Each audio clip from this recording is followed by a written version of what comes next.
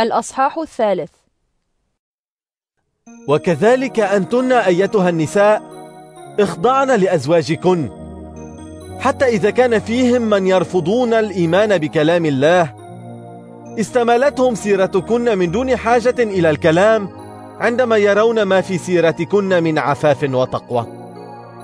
لا تكن زينتكن خارجية بضفر الشعر والتحلي بالذهب والتأنق في الملابس بل داخلية بما في باطن القلب من زينة نفس وديعة مطمئنة لا تفسد وثمنها عند الله عظيم.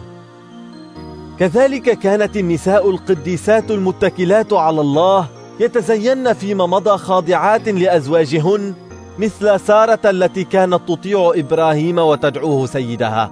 وأنتن الآن بناتها إن أحسنتن التصرف غير خائفات من شيء.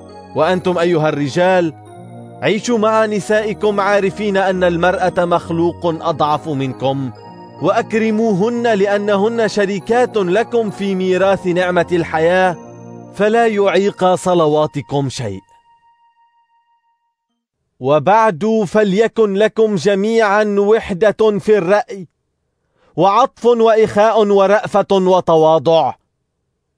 لا تردوا الشر بالشر والشتيمة بالشتيمة بل باركوا فترثوا البركة لأنكم لهذا دعيتم. فالكتاب يقول من أراد أن يحب الحياة ويرى أياما سعيدة فليمسك لسانه عن الشر وشفتيه عن المكر في الكلام. وليبتعد عن الشر ويعمل الخير وليطلب السلام ويسعى إليه. لأن عين الرب على الأبرار وأذنه تصغي إلى دعائهم.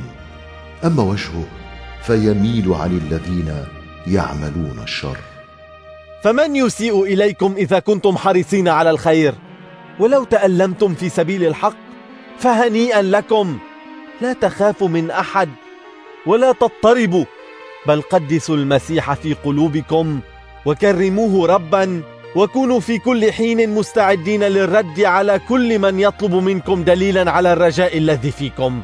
وليكن ذلك بوداعة واحترام محافظين على سلامة ضميركم حتى إذا عملتم بسوء يخزى الذين عابوا حسن سيرتكم في المسيح.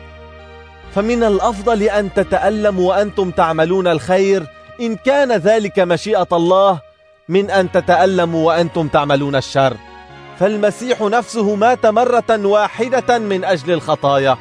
مات وهو البار من أجل الأشرار ليقربكم إلى الله. مات في الجسد ولكن الله أحياه في الروح. فانطلق بهذا الروح يبشر الأرواح السجينة التي تمردت فيما مضى. حين تمهل صبر الله أيام بنى نوح الفلك فنجى فيه بالماء عدد قليل أي ثمانية أشخاص. وكان هذا رمزا للمعمودية التي تنجيكم الآن لا بإزالة وسخ الجسد بل بعهد صادق النية مع الله بقيامة يسوع المسيح الذي صعد إلى السماء وهو عن يمين الله تخضع له الملائكة والقوات وأصحاب السلطان.